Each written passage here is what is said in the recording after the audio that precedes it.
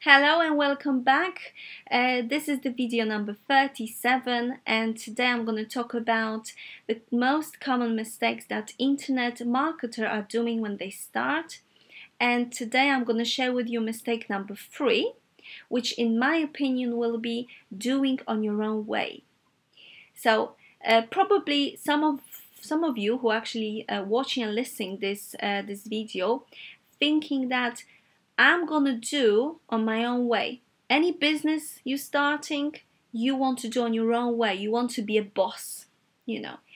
But the reality is, if you don't know what you're doing, you could be hurt, you know. You could fail.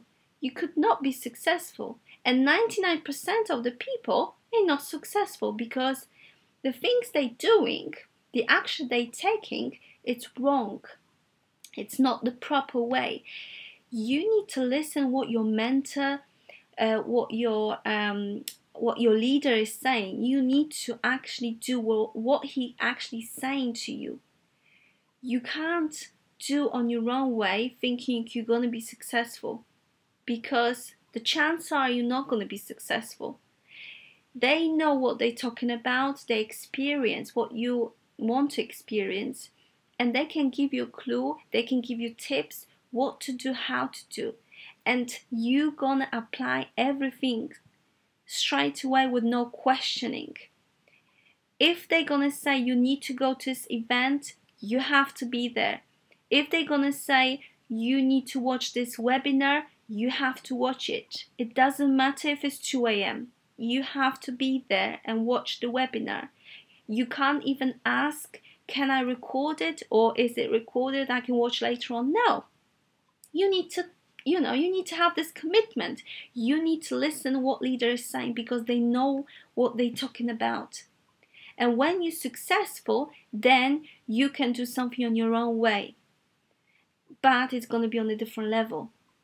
But if you still think that what i'm talking about it doesn't apply to you and you're doing on your own way and is better look at your results Look how much money you're earning now. Are you successful?